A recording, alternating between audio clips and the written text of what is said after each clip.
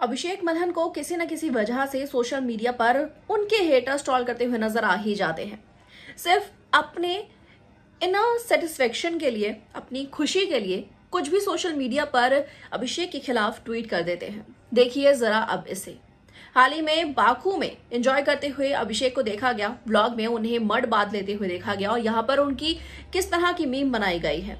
अभिषेक के फैंस यानी कि पांडा गैंग, इस बात से बहुत ज़्यादा ना खुश हैं कि आखिर इतना ज़्यादा कोई इतनी नेगेटिविटी लेकर कैसे पैदा हो सकता है कि सोशल मीडिया पर बिना चेहरे वाले ये इंसान इस तरह से हेट फैलाते हुए देखे जाते हैं। जिसके पीछे कोई लॉजिक नहीं, कोई वजह है ही नहीं। अभिषेक मडबाग को एंजॉय कर रहे थे, वो भी कहा जानते होंगे कि कुछ लोग इस तरह से उन्हें ट्रॉल कर देंगे कि उनके साथ एक पिक की फ़ोटो लगाकर उन्हें यहाँ पर कंपेयर करेंगे कहते हुए same same but different Abhishek Malhan को ना ये चीज़ पसंद आएगी, ना ही उनके परिवार को जिस तरह ना पसंद आ रही है उनके फैंस को।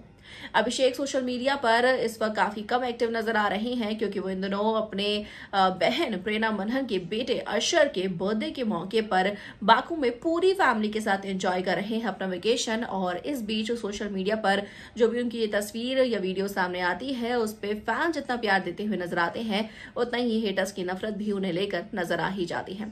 क्या कहेंगे इसके ऊपर आगे आप सभी कमेंट सेक्शन में ज़रूर लेके बताएगा। वीडियो को लाइक शेयर चैनल को सब्सक्राइब के बिना बिल्कुल भी ना जाए।